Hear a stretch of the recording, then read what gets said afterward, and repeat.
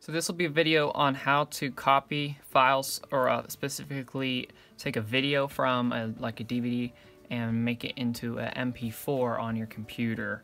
And we're going to use a program called Handbrake to do that. It's a free program and it's pretty easy to use when you put the DVD in, it's going to probably play it, but we don't really need to play it. What we actually want to do is open up Handbrake.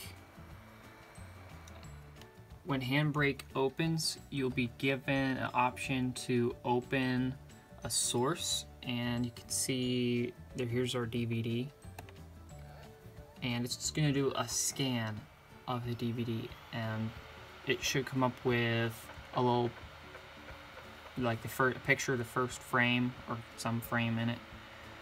Okay, that looks good. And the format is set to MP4. That's the default. That's fine. You can upload this type of file to Google Drive or play it on lots of different devices.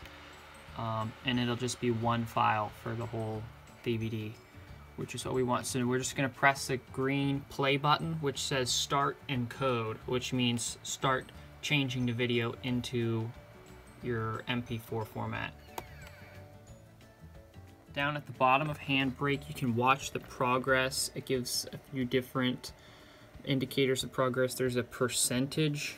It's 0.7% complete. Uh, and there's just a beginning of a green bar beginning to creep across the side. So this will probably take um, now this is estimating about an hour. And obviously that depends on how big of a video you are writing and how fast your computer is. Um, but it, it will at this point you can walk away from it and it will generate your file. Now you want to look at the location of where the file is going to be saved. It says save as. And you can see the file extension is .m4v and that's okay that it doesn't say MP4 because that all right so what's going on is there's the video that's being combined with the audio into one file. Uh, so the video type is MP4 the audio is AAC and whenever you stick both of those together they go into a container file called M4V which is the complete video or including the audio um, so it's still an MP4 format video, but the file extension is different. But you know, for tech, for like say non-technical purposes, it doesn't really matter. In other words, this is where the final output file will be saved to. So once you're finished, you can go into your file browser and find the DVD, right click on it and say eject. That will uh, eject it if it's done the computer's done accessing it.